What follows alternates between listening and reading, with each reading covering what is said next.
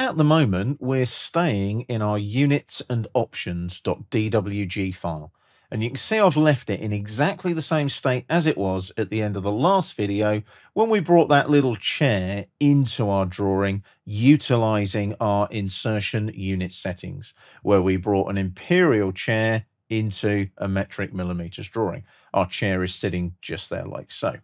Now, I'd like you to close Design Center down. That can be closed now. We don't need that anymore. And just do a double click on the wheel of the mouse to zoom extents. So there's our drawing there, our units and options DWG file. What I'd like you to do now is go to the Home tab on the ribbon, go to the Layers panel here, and just click on the Layers drop down. And you'll see there's loads of different layers all set up for all our different things in our AutoCAD drawing. I'll hit escape to deselect and that menu disappears. If I type units and press enter, you'll see that my units are all set up in my drawing as per the settings we set up previously. I'll just cancel that now. Now, this is what you can do with each individual drawing. You can set up all these individual layers, unit settings, line types, line weights, and so on. Now, one of the benefits you have is instead of using a DWG file, you can set up a DWT file, which is a drawing template file. Now, what I'm going to do is I'm going to actually take you to the Start tab here. Now, this should be there anyway, regardless. I never close it. I always leave it open. So when you open up a version of AutoCAD that's reasonably new, let's say the last five versions, you will have this Start tab. Now, if I click on this, it will look very different in AutoCAD 2022 because they've changed it around a bit.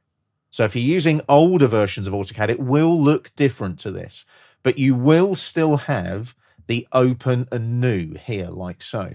So you'll have a new drawing option. Now, this is the bit I want to show you.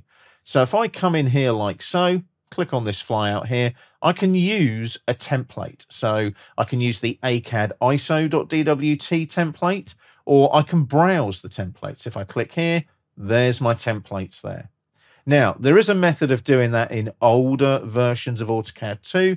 It's on the left-hand side in the templates box on the start menu. The AutoCAD 2022 start menu does look very different, you'll notice. Now, I've got the ACAD ISO.dwt there. That means it's an ACAD ISO metric template. I could go for the ACAD.dwt. That tends to be biased towards imperial units. So let's create a new drawing using ACAD ISO.dwt. When I click on open, the good thing is about AutoCAD is you can have as many drawing tabs open as you like. The files tabs are up there. You can see units and options and drawing one. So AutoCAD has created now a basic drawing for me using that ACAD ISO.dwt file. Now, here's the difference. Everything is based on that DWT file. So if I type units and press enter, you'll see that my unit settings are very different to the units and options drawing. You can see there the length is set to four decimal places. The angle is set to no decimal places. The direction, though, is east zero, like it was previously in the units and options drawing.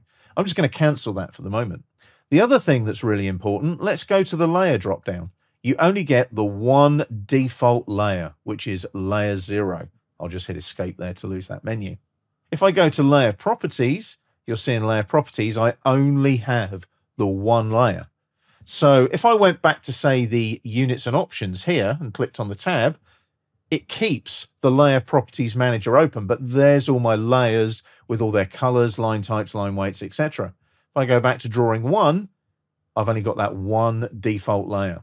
So that ACAD ISO.dwt file is a very basic template to give me basically a simple blank drawing to start from scratch with. So you can see the difference there. I could save the units and options drawing to a template if I wanted to, if I wanted to use that as a template for other projects. But that's where this DWT file becomes really useful because you'll notice at the top of the screen, drawing1.dwg, it's a DWG file. So any template you use opens up a new DWG file set to the settings in the template. Now, what we'll do is set up our settings now in this drawing and we can save it as a template if we want to. It's really quick and easy to do. So I'm going to add a new layer in here. So this is in the drawing one. It might be drawing two, drawing three, depends on how many drawings you've opened in AutoCAD. It just picks the next sequential number in the list. So I'm going to create a new layer there and I'm going to call it objects, like so. And I'm not going to worry too much about color. I'm just going to pick a random color. I'm going to go for that red one there and say OK. So now we've got our own layer in our own drawing1.dwg. I'm going to close the layer properties manager. I'm going to type units and we'll go in here. We'll go for decimal and we'll have two decimal places there, decimal degrees, and we'll have four decimal places there. Okay, that. Don't worry about any other settings. So we've changed those particular settings in our drawing1.dwg file. Now we need to do a save as. Now the quickest way to do this is the quick access toolbar and it's the little disk with a pencil. So I click on save as and you can see at the moment there's our units and options.dwg and it's in our using units and options folder. That's the folder where I've kept the drawing for this particular course on my machine. Now it's trying to save drawing1.dwg.